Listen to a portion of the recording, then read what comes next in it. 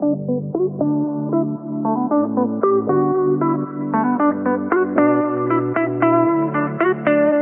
a tutti e tutte e bentornati su Ilaria F Math. Pronti per una nuova sfida da ombrellone? Vi ricordo che ogni venerdì alle ore 13 uscirà per tutta l'estate un quesito matematico da risolvere. Se non l'avessi ancora fatto, ti invito a iscriverti al canale per non perderti i prossimi. Cominciamo! All'interno di un quadrato sono disposti un semicerchio e un quarto di cerchio come in figura e sono tangenti tra di loro. Il raggio del quarto di cerchio e il diametro del semicerchio sono pari a 12.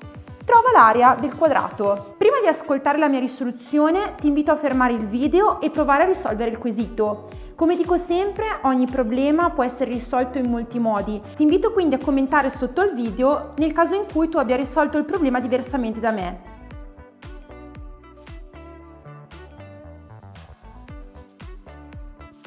Per risolvere il quesito dobbiamo ricordare che se due circonferenze sono tangenti, allora i loro centri e il punto di tangenza appartengono alla stessa retta. Questo perché entrambi i raggi devono essere perpendicolari alla tangente che passa ovviamente per questo punto di tangenza. Quindi per semplicità possiamo andare a tracciare la retta che contenga i centri sia del quarto di cerchio che della semicirconferenza e che passa quindi per il punto di tangenza.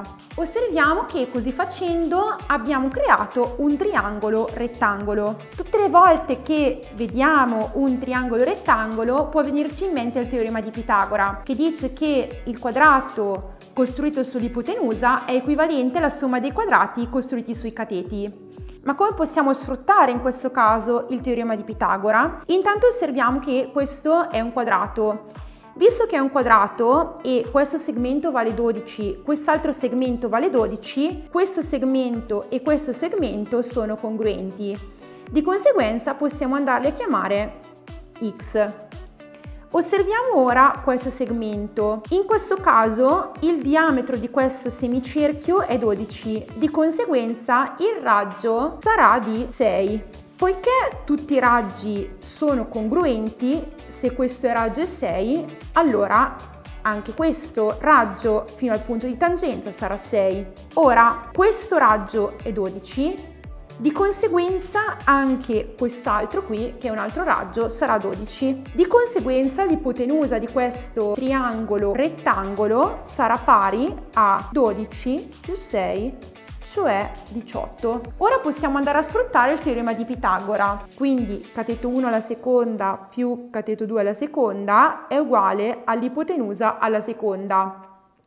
Cateto 1 sarà questo, quindi sarà pari a 12 più x elevato al quadrato più cateto 2 che sarà pari a 6 più x tutto elevato al quadrato, uguali ipotenusa alla seconda, cioè 18 al quadrato. Ora, se ricordiamo i prodotti notevoli, sappiamo che il quadrato di questo binomio è 144 più 24x più x alla seconda, il quadrato di questo binomio è 36 più 12x più x alla seconda e il quadrato di 18 se lo andiamo a calcolare è pari a 324.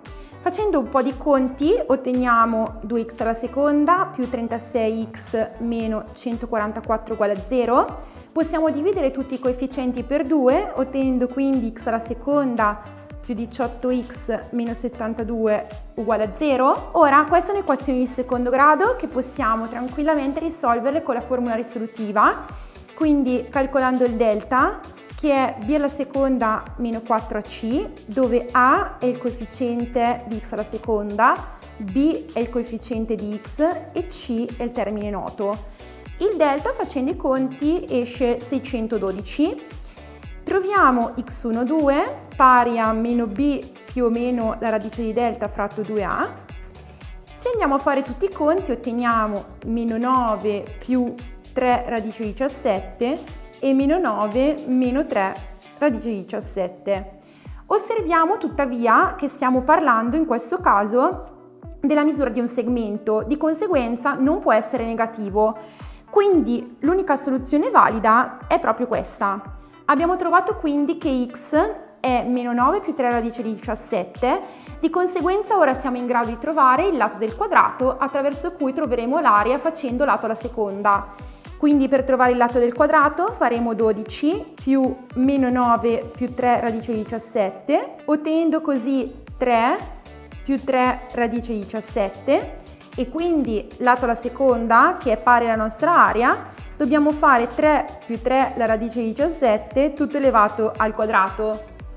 Ora anche in questo caso dobbiamo risolvere il quadrato di binomio e il risultato finale sarà 162 più 18 radice 17. Lascio a te la dimostrazione di questo breve calcolo. Ti ringrazio per essere qui e soprattutto spero tanto che questo video ti sia piaciuto. Ti invito a mettere un like sotto il video, a iscriverti al canale e soprattutto attivare la campanella per non perderti tutti i prossimi video, sia della serie di matematica da ombrellone, ma anche tutti i prossimi video divulgativi e anche didattici. Intanto ti auguro buona settimana da Ilaria.